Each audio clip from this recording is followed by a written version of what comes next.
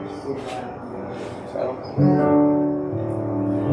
wait for the day,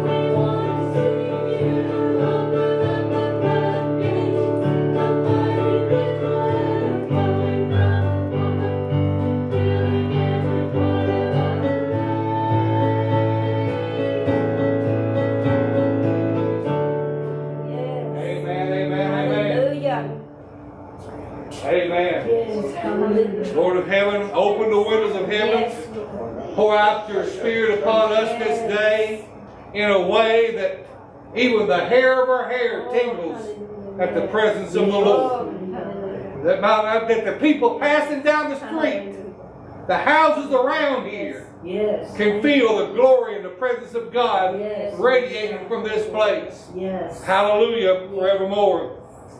So glad to see each and every one of you in the house of the Lord this morning. So glad for the goodness and the mercy of God and His greatness that has been extended to us today. And we are so excited that Brother Charlie's going to be bringing the word to us here in a few moments. Looking forward to hearing uh, from the Lord through him what the Lord has laid upon his heart, as I know you are.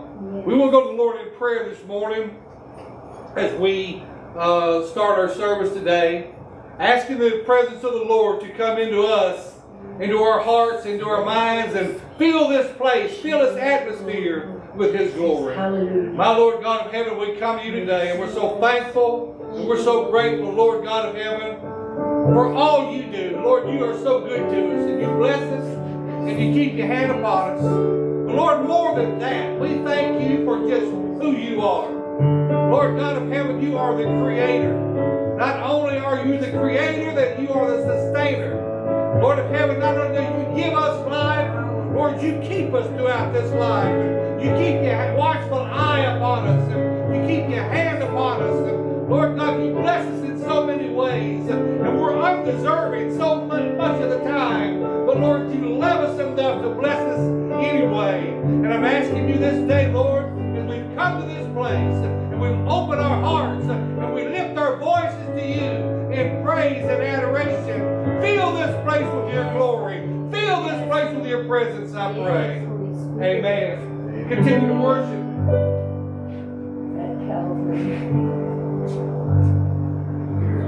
Calvary. Years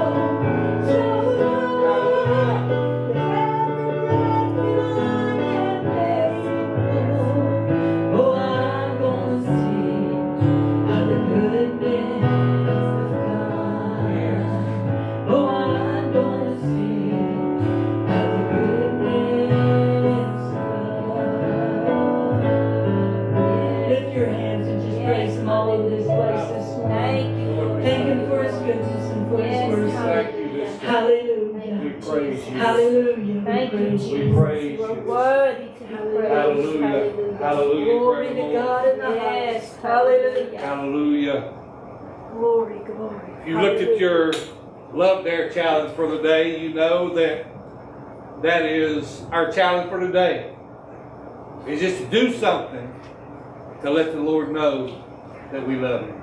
Yes. Just do something. There, You know, throughout the rest of the week, our challenges have been outward toward one another. This being Sunday, we want just to let our challenge be to show you, Lord, Yes. how much I love you. Yes. and how thankful and how grateful I Thank you, am. Lord Jesus. Hallelujah. Hallelujah. We thank you, Lord. Jesus. We are so excited this morning to have Brother Charlie come and deliver the word for us today. I know the Lord has been putting some things on his heart, Yes. and I'm excited. I keep up with his blogs and read his blogs and read his posts and things he does on Facebook, and I always blessed, Yes, it does. always enjoys me, always Yes. lifts me up. Yes. feed, food for my soul, and I know that today is not going to be any exception. So while I'm thinking about it, right before I turn the service over to him, we will not be having service Wednesday night because of it being the first Wednesday night, and I suppose you guys are having your meeting, right? Okay, so the, the Legion will be having their monthly meeting, so we will not be having service this Wednesday night, and I'll be sending texts out to remind everybody. But Charlie, come and take your liberty, everyone. Yes, mighty God. Good morning. Good morning. Just get too too loud, just tell me and I'll kind of back it off a little bit. I don't think it's on. Might not be. Is that on now? No, On now? no. Uh, I'm not technically, I'm not technologically advanced. That, there we go. It's not on Well, good morning. Good to have you in the house of God this morning. If you have your Bibles with you, I'd like you to turn to the book of Acts, chapter 12, and we're going to start at verse 5. And the subject this morning is the power of a praying church. Amen? Yes. Hallelujah. Because, you know, one thing I've realized throughout all of life is that the only reason why any of us is here is because of prayer. Yes. I can think of a time in my life to where I wasn't such a desirable person to be in church. Amen. And some of us all, we wasn't in that good a shape to be at the house of God. But it seemed like somebody had been praying for me. Amen. Amen. Yes. And that's the whole part of what I want to bring out today is the church has power. Yes. But it's not in your own might. The church has power in prayer. Yes. See, if we go to the book of Acts chapter 12 verse 5 and we're going to start right there. It says, Peter therefore was kept in prison But prayer was made without ceasing of the church unto God for him. Yes.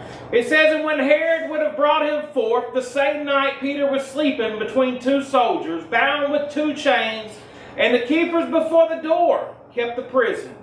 And behold, the angel of the Lord came upon him, and light shined in the prison, and he smote Peter on the side, and raised him up, saying, Arise up quickly. And his chains fell off from his hands. Yes. And the angel said unto him, Gird thyself, and bind on thy sandals. And so he did.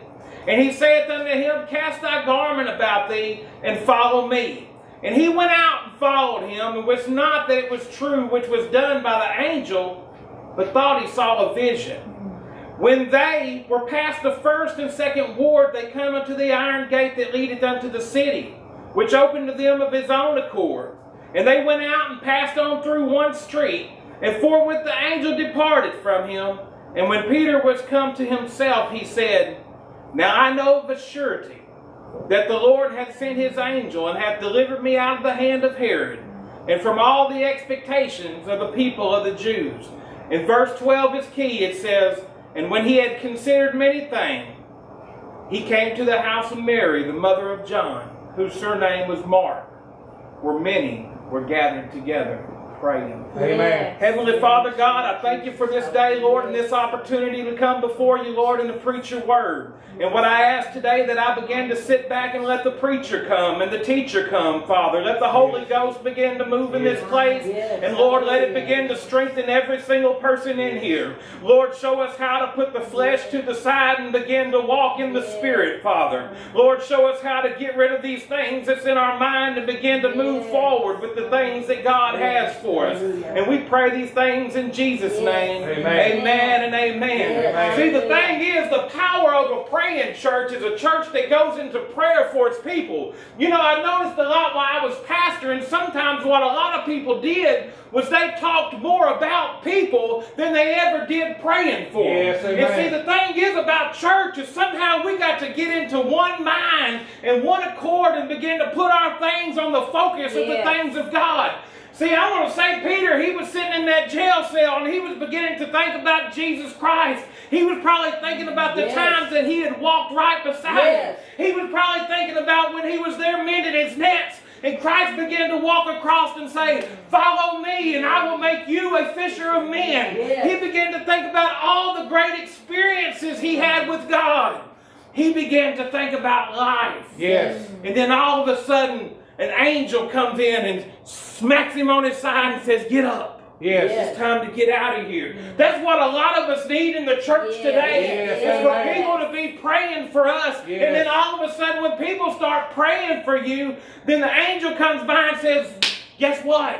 It's time for a change. Yes, it's time for something Yes. different. You know, I've heard people say all the time, they would say, we need to go back to the old ways and we need to do things. No, we need to go back to God's way. Yes. We need to go back to praying for people. Yes. That is the power of a praying church. Yes, when the church has power, chains Yes. are broken. Yes. Amen. Yes. You know, I can go back in my mind almost 20, I'm going to say 22 years. You probably don't even remember it. But we came to visit your church and you spoke on that night how to be a giant killer.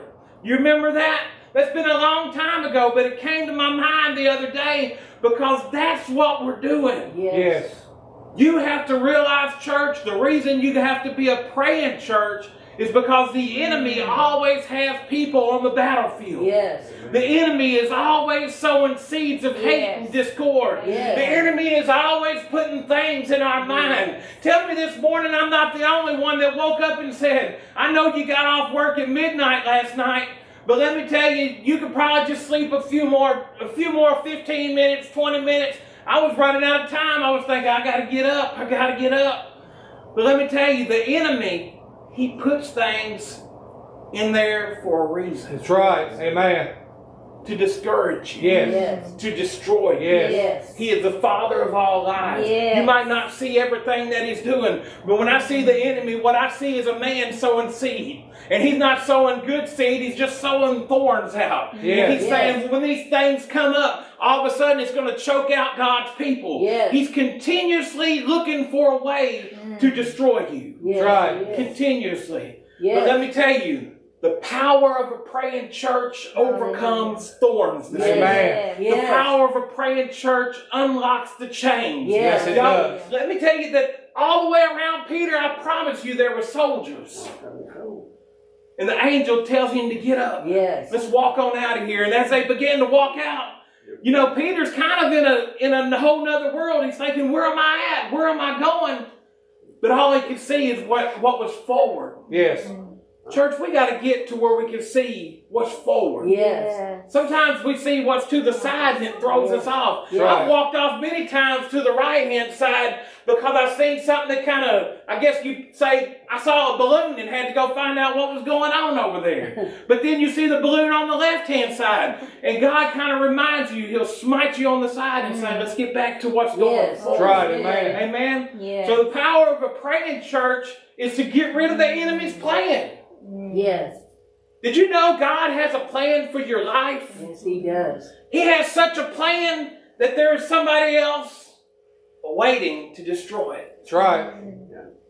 You cannot focus on everybody else in God's will. Amen. Right. You have to focus on God's will for, For you. you. That's right. And then everything else will fall into place. I see it as a, as a big picture. Yes. Yes. And you know, we are in that picture, and God's the artist.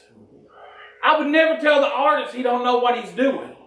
And you know, I had somebody tell me not too long ago, they said, Well, if God's so good, why did my wife die of cancer? Mm. I've heard people say, if God's so good, why is there starving children everywhere? Yes. I've heard people say, you know, anything that they can think of to try to debunk what's in here. Yes. Where did Cain's wife come from? Y'all, the answers are there. The praying church is the seeking church. Yes. The praying church begins to get in the Word of God and look to see the answers. Yes. Yes. Because we have an answer for sin. Yes. We have an answer for life. Yes. We have an answer for everything. But the whole thing is sometimes we get into our own lives Mm-hmm. Come on. and we lose it. Yes. Church, we no longer live to survive. Yes. We live for comfort. Amen. You know, I'll share this little brief testimony about two or three weeks ago. Well, almost about a month and a half ago, we had put in for rental assistance through all the coronavirus stuff because of me missing pay. And because the people that own our place couldn't prove the ownership, they kicked it back. Mm. And then Entergy, I was thinking, I told Esther, I said, I probably need to call Entergy and find out, you know, because the bill hadn't been paid, what's going to happen. I called Entergy. And Entergy said, we're going to shut you off in the morning mm-hmm. unless you got $658. Y'all, Entergy's not afraid to shut people off. That's right. I began to pray and just ask God on my way to work. I had been going, we were fixing to get ready to start preaching over at the assemblies, and I knew what the enemy was doing. The enemy said, I don't know why you're going down there. You don't even have your whole house in order. Look at you. You're a mess. Come on. Yeah. You're a mess. Yeah. And I began to just pray, and I here's what I said. I said, God, from this point forward, I've tried to figure everything out. I've tried to lay things in order, and they never turn out the way that I actually try to plan them. No. And I said, There's a wood burning heater out in that shed that we have, and we got some candles, and we're going to survive. When I got to work, I came in through, I was doing my job, I went and got me some locations, and we have a big rotator thing that we set pallets on, and it spins the top.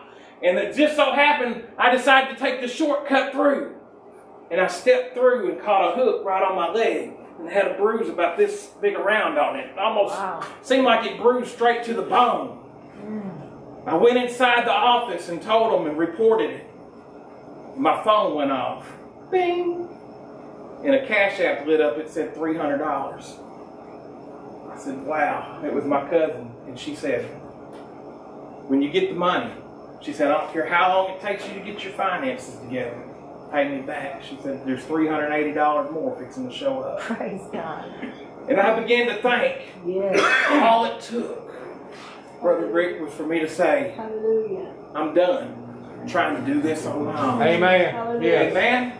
Because God can do everything. Yes, Did the He can. scriptures not say this morning that He owns the cattle of a thousand hills? Yes. Yes. Amen. Does the scriptures not say everything that He would do for you if you would just trust in Him? Yes. You know, I began to see that life is not about me. Right. Life is about living in Christ. Yes. See, you can live for Charlie. You can live for Jackie. You can live for Esther. But you've got to learn to set this aside and begin to live for Christ. Yes, amen. Yes. Because what I've noticed is, that, you know, and I've always heard it. My daddy used to tell me, he said, son, you will want till the day that you die. Yes. But there's not a thing any of us is taking with us. That's right. That's And let me tell you, you can save it all up. And then the next thing you know, you have an unappreciative kid that's going to throw it right out the window. That's right. Amen? Mm-hmm. But see, God has a plan. Yes. And the plan is to have a church that is praying. Yes. Amen. We can't survive without prayer. Amen. I looked at the empty faces whenever I was preaching at the assemblies, and I noticed that sometimes we get so complacent. Sometimes we just come to church. But what if we got out of just coming to church? Amen. Yes. What if we got into more to where if you see Sister So and so has a problem, let's not come to me and say, Sister So and so doing this. What we should do is say, we're going to go to the Lord. Did you know that the things that you pray about begin to manifest God in a physical amen. form? Hallelujah. When you Yes. begin to see the work that God is doing, Yes. you begin to make a picture of God. Amen. People begin to see God because of the things that they see, and especially when you begin to speak things into existence. Yes. Yes. Some people will say, Well, I don't see what you're talking about. Mm. But once the plan gets there, I had a guy tell me not too long ago at work, he said, I don't know why you're trying that website stuff because it don't work. Let me tell y'all, since I started the website, I noticed last night, I've never even heard of this, but there's a place called the uh, Isle of Man. I had three views from it last night. I began to start seeking out different avenues of how to reach people. And I began to see the Netherlands. I began to see Poland. I began to see all these other places. And what I noticed is that God has people everywhere. Yes, He does. Not that I didn't know that, but He showed me. Yes. He made it visible to me. Yes. He made God real to me because I'm seeking Him in a physical Yes. form. Yes. How do we fill the church up? By the power of Yes. prayer. Amen. How do we overcome the things that Vladimir Putin is doing? Mm. By the Power power of of prayer. prayer. Amen. How do we do evangelism? By the power of prayer. Because somehow, some way, we are still locked up in the chains in the prison. Yes. But we're not singing the songs of joy for the mm-hmm. angel to come to break us free. Amen. Mm-hmm. I'm sure Peter was sitting there thinking the whole time, I know God's going to deliver me. Can I take y'all a few verses before that and tell you that he had already lost? Peter had already lost his friend. That's Yeah. what ministry Yeah. does. Yeah. Because why would Peter be so worried about Herod? Herod just killed his friend. Yeah. Somebody he had been walking with for a long time and walked with Jesus with. And now he's gone. Because in the ministry, and that's all of us, all of us are ministers. That's right. In the ministry, sometimes we lose some people. That's it. But the gospel has to go forward. Amen. If you notice all these things, they came into a house. Here's Peter standing outside the house. And what did he say people was doing in the house? Praying. They was praying. Yes. Today's church might be sitting there saying, I can't believe Peter was so uncautious and got put in prison. Of all things, why would Peter go to prison? Could he not just do one thing right? These people were saying, God deliver Peter Yes. because if Herod gets his hands on him, Yes. he's on his way out. Come on. But God had a plan. That's right. God had such a plan because He knew that through Peter, these things would come to pass and the world began would just begin to see the gospel. Not only that, he knew that when the apostle Paul, you, you know, you have to really realize when you read these stories, it's in the book of Acts, the apostle Paul. He done killed several members Yes. of the church. Yes. Why should the church trust him? Mm-hmm. You know, that's what a lot of people, like in my mind, I've heard people say, Why you?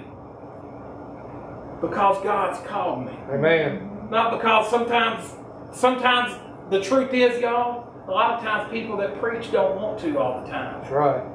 Because this is a burden. But it's not a burden like you would feel. This is a burden to make sure that people get a gospel that's true. A gospel that's different. A gospel that feeds. Yes. A gospel that moves. Yes. Yes. Amen. And the number one thing is because when you pray, it wears you down. Yes. Mm. Because when the saints of God began to pray, they prayed from something different. Yes. There is a power inside of you that's stronger than any nuclear weapon that the government can come up with. That's right. But you have to learn how to use it. Mm-hmm. I began to seek for the small things. The small things.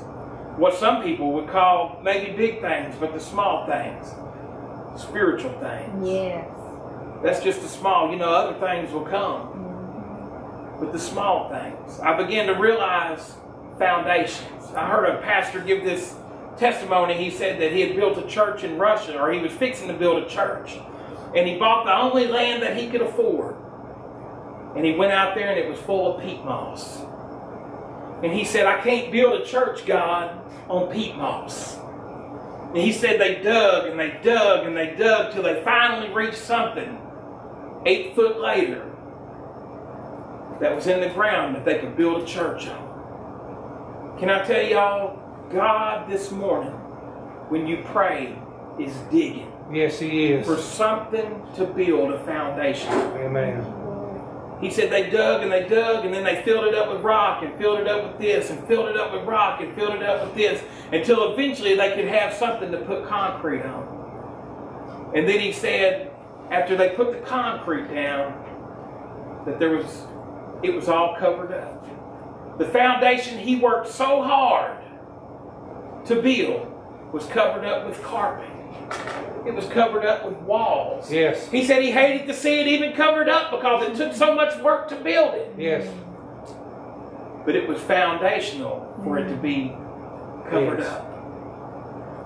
We should have a strong foundation this morning, built in prayer, Amen. Yes. built in love, Yes. Built in kindness, Yes. built in humility, Yes. built on the things that God has has for us. Yes. See, God's plan is for you to overcome the faults that are in your life. Because the praying church is a sin filled church. Mm-hmm. We all are sinners. Mm-hmm. But God don't expect us to stay the same. That's right. Amen. God don't expect you to be the same as you was 20 years ago. I can tell you this from, and this just speaking from my mind, knowing the truth, and Esther can tell you.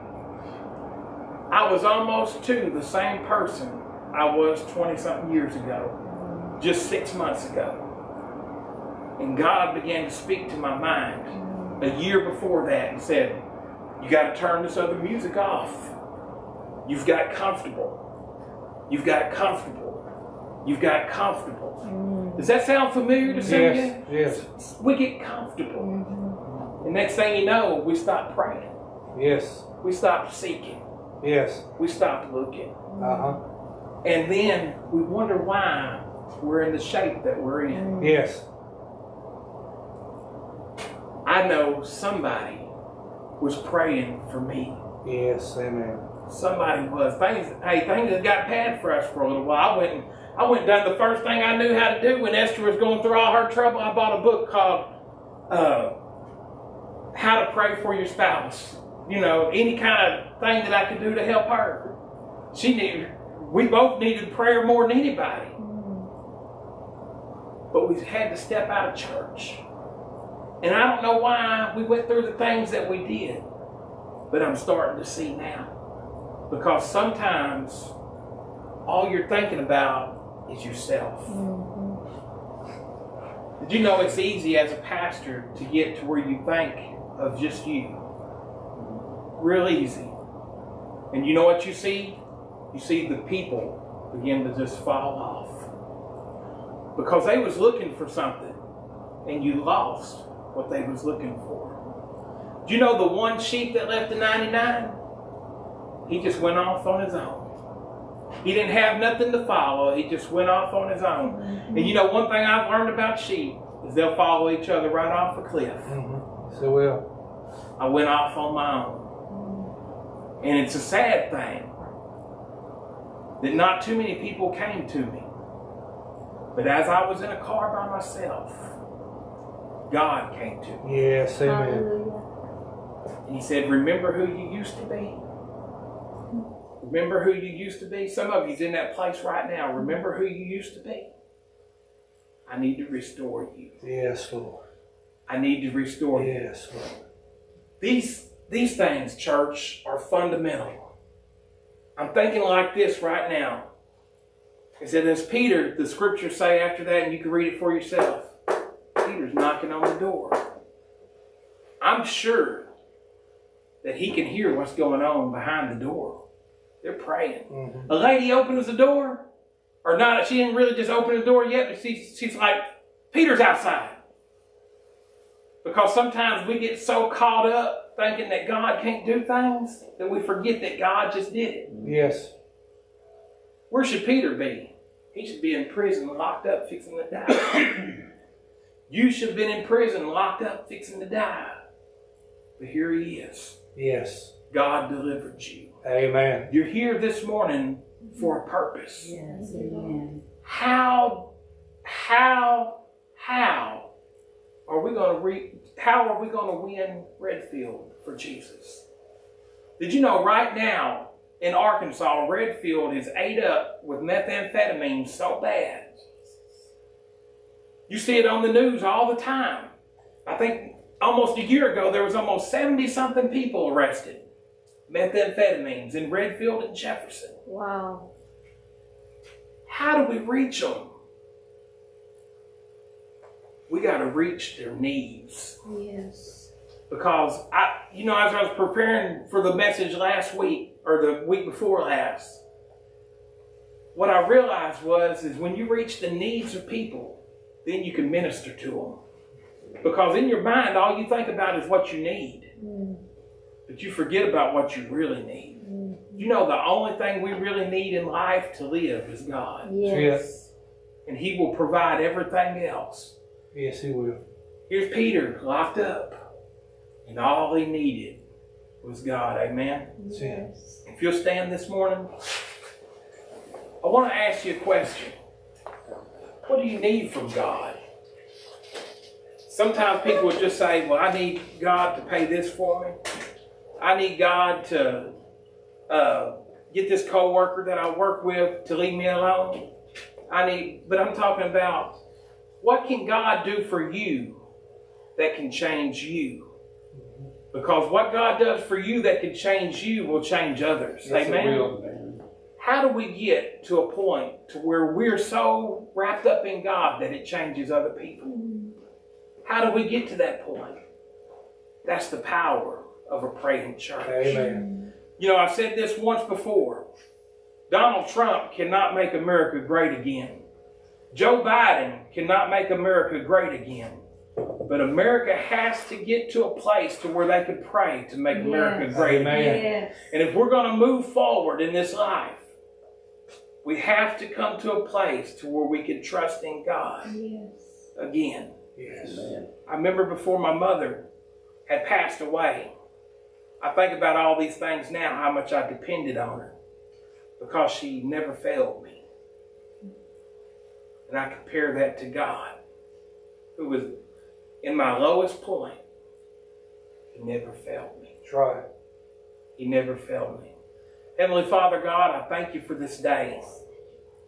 Lord, I thank you for your anointing. And I thank you that you're changing people. Yes. It's the only way that we can move forward. Father, as we begin to seek as a nation, everything that happens is for a purpose. And we know that you're fulfilling prophetic things within the Ukraine. Lord, we ask that you be glorified Yes. in all things. Yes. Lord, let somebody look up and see the glory of God like Stephen did. Yes. Let people begin to see how powerful you are. Lord, let people begin to see the God of Israel in a way that they've never seen it before in this time, in this age. Lord, let your anointing Yes. Begin to pour out. Yes, If you need something from God this morning, there's people that will pray for you. Yes, amen. There's people that will pray for you in a way that'll change your life. All you have to do is come. All you have to do is step out. If you're too ashamed to step out, all you got to do is stay right there. And if you just ask God, He will begin to move. Yes, he We'll will. turn this over to Brother Rick. I just thank y'all for listening. Amen. Amen.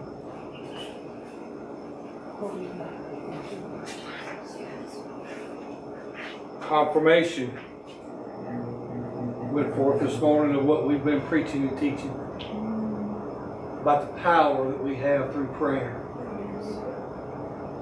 Thing we do on Monday night, we've set aside the time frame between seven and eight o'clock to spend however much time you can in prayer.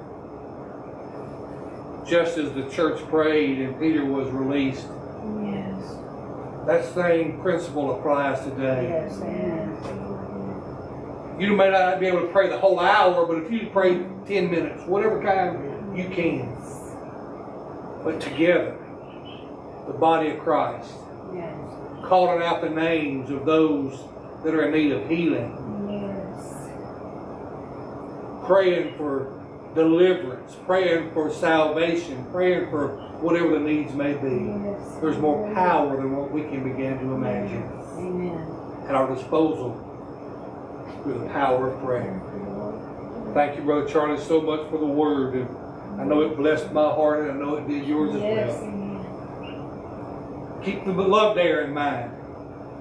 Amen. I pray that these are blessing you, that they're helping you, that they're challenging you.